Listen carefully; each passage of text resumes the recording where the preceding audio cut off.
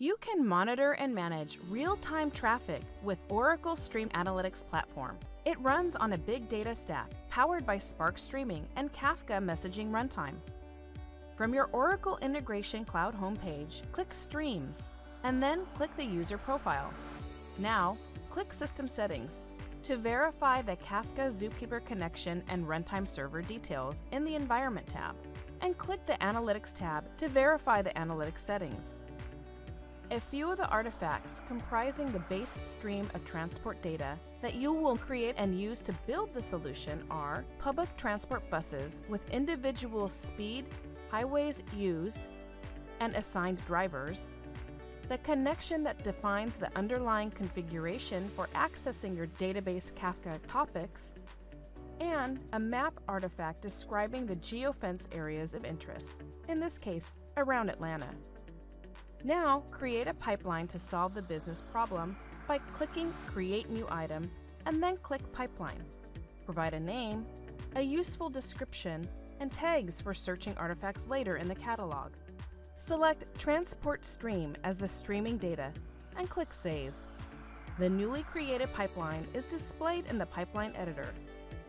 Next, add a spatial analytics stage to identify the vehicles that are within the Atlanta area. To do this, click Add a Stage and select Pattern. Then, select Geofence Filter. Provide a name and a description of the stage. Save it and then provide the parameters of the geofence, such as name, latitude, longitude, and object key.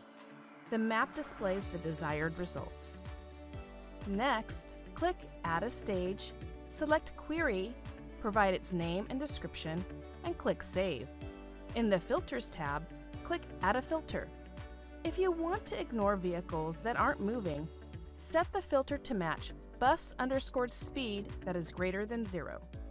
In the Sources tab, click the timer icon and select the range and evaluation frequency as 10 seconds. In the Summaries tab, click Add a Group By, click Add a Field, and select Bus Trip ID.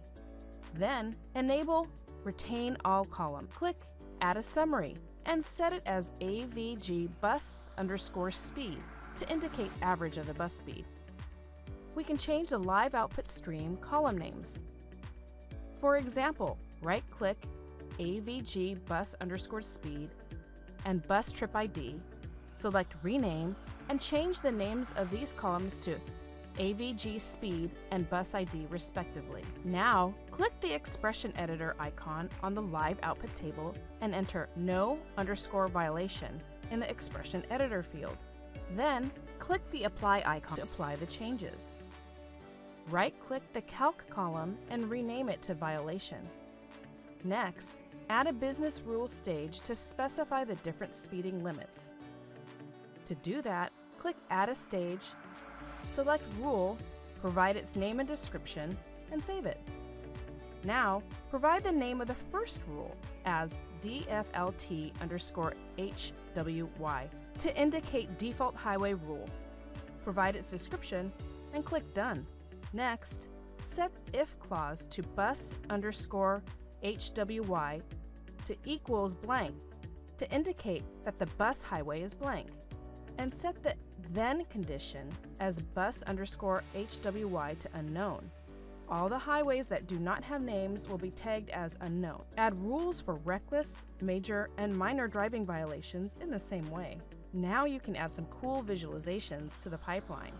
Select the Visualizations tab in the Speed Violation stage, click Add a Visualization, and then select Geospatial. Provide the name and description of the visualization and specified latitude, longitude, and key fields as buslat, buslong, and bus trip ID. In the Customizations tab, click the plus icon and then provide orange, purple, and green color coding for reckless, major, and minor violations respectively.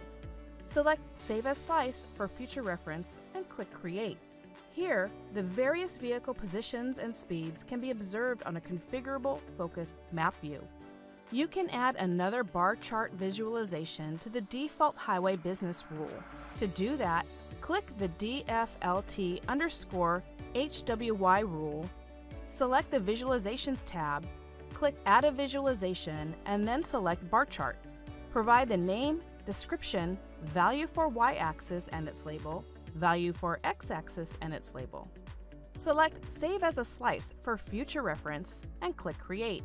For each highway, the live output stream displays the average speeds.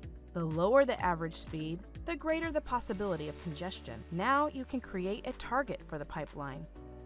To do that, click Target from the pipeline, click Create, provide name, description, tags, select target type as Kafka, and click Next. In the Target Details tab, select the connection as Transport Analysis and enter the topic name as Transport Analysis, and then click Next. In the Shape tab, select Manual Shape, verify the field type and the field paths, and then click Save.